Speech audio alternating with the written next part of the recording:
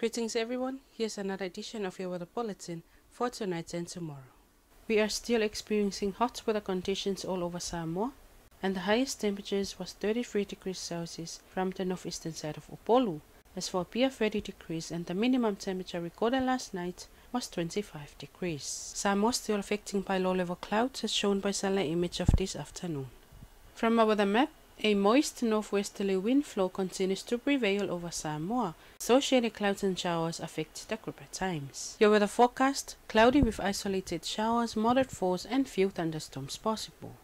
For all coastal waters, northwesterly winds of 5 to 10 miles per hour with a chance of gusty periods, waves of 5 to 7 feet.